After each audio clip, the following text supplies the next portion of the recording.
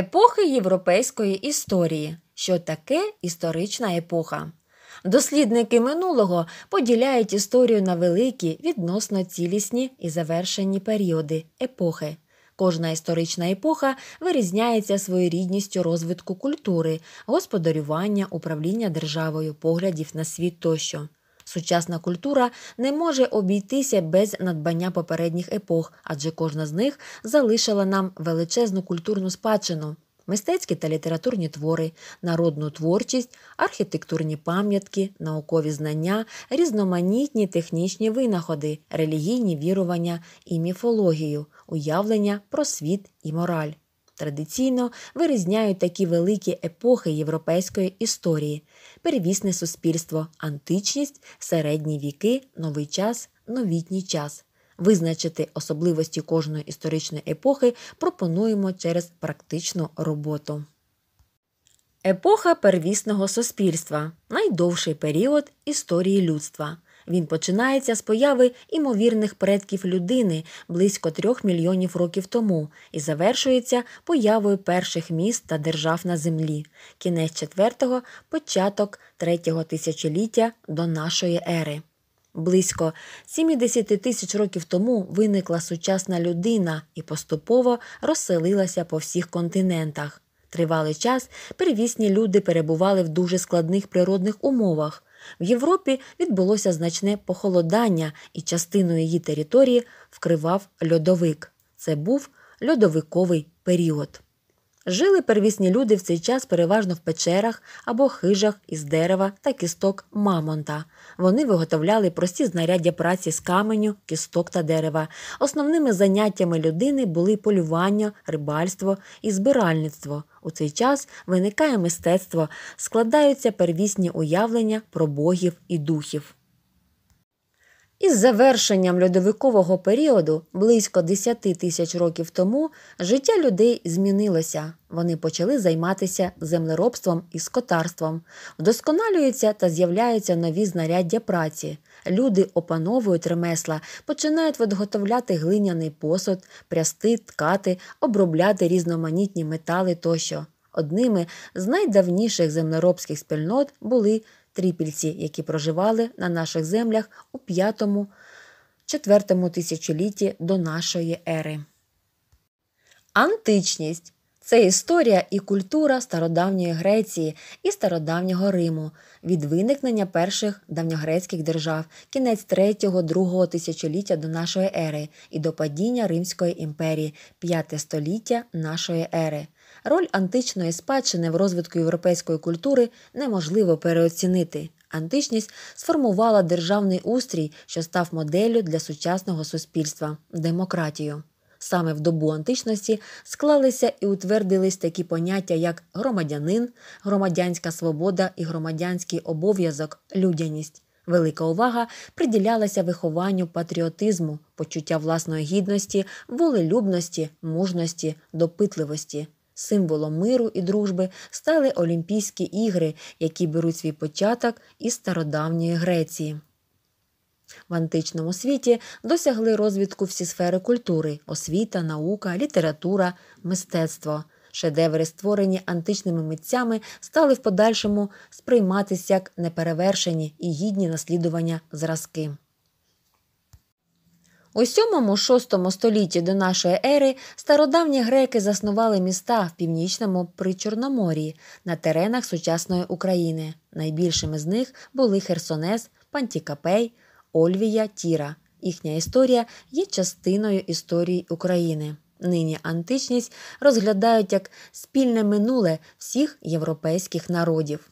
Історія середніх віків період європейської історії від 5 століття падіння Західної Римської імперії до епохи великих географічних відкриттів кінець 15 століття. Саме в цей період повністю змінився вигляд Європи, виникли більшість європейських народів та держав, що існують донині. Середньовічні архітектори та будівничі залишили нам у спадок величні і красиві міські споруди, ратуші, собори, палаци та інші громадські будівлі. Багато з них збереглися дотепер і вважаються справжніми шедеврами людської майстерності та мистецтва. Особливістю середньовіччя було й те, що людина за народженням належала до одного з тогочасних суспільних станів прошарків. Духівництва, землевласників, феодалів, купецтва, ремісників, селян. Кожен стан мав свої права і обов'язки в суспільстві, специфічний уклад життя, навіть вигляд одягу. Могутнім об'єднавчим чинником у таких умовах були християнська релігія та церква, які впливали на все життя людини та суспільства загалом. Дуже часто середньовіччя асоціюється з лицарями. Вони вели особливий спосіб життя, мали особливі цінності та ідеали. Чимало величних лицарських замків збереглися до сьогодні і несуть відгомін тогочасних подій. Поширення в цю епоху набувають освіта і наука, відкриваються університети, бібліотеки, школи різних профілів. До наших днів дійшло чимало середньовічних видатних творів мистецтва, літератури, архітектури, живопису і скульптури, які вражають унікальністю та пишнотою. Новий час історичний період, що тривав у Європі понад 500 років. Він почався з великих географічних відкриттів кінець 15 століття і закінчився на початку 20 століття. У цей період починають формуватися кордони європейських держав, які стають близькими до сучасних, виникають нації із самобутньою мовою, культурою та традиціями. В епоху великих географічних відкриттів європейці відкривали нові землі і морські маршрути до Африки, Америки, Азії, Океанії. Втім, європейці не лише торгували з народами інших континентів, а й почали захоплювати їхні землі. Виникають колонії, країни, які були позбавлені незалежності і перебували під владою іноземної держави. Християнство залишилося основою духовного життя населення Європи. Втім, людина нового часу стала більше покладатися на власні розум і силу, ніж на допомогу церкви та правителів.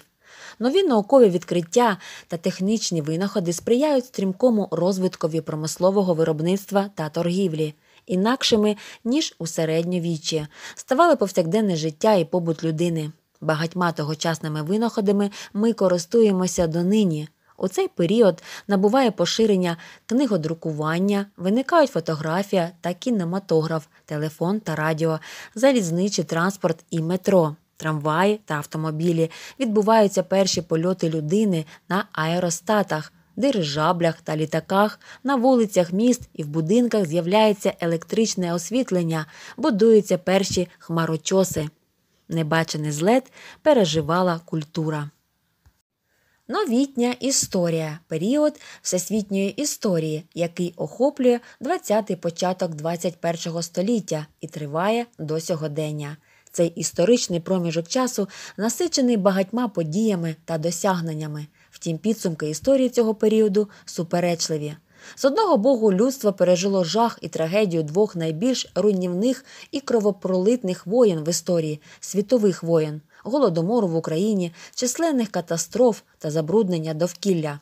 З другого боку, це також період національно визвольних рухів у всьому світі, у результаті яких чимало народів вибороли свою незалежність. Це час доленосних наукових відкриттів у різноманітних галузях, ракетобудування та освоєння космосу, появи інтернету і персонального комп'ютера атомної енергетики і мобільного зв'язку та багато іншого.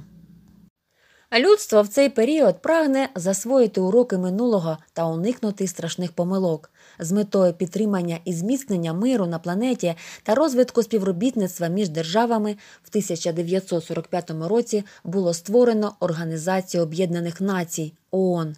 Після Другої світової війни перед багатьма західноєвропейськими країнами постало питання про майбутнє Європи. Для вирішення спільних завдань було створено Європейський Союз. Нині він налічує 28 країн, які об'єдналися на засадах спільних людських і демократичних цінностей для досягнення добробуту, безпеки, миру та збереження культурного розмаїття. Україна є членом ООН і прагне стати повноправним членом Європейського Союзу, адже це одна з вимог Революції Гідності.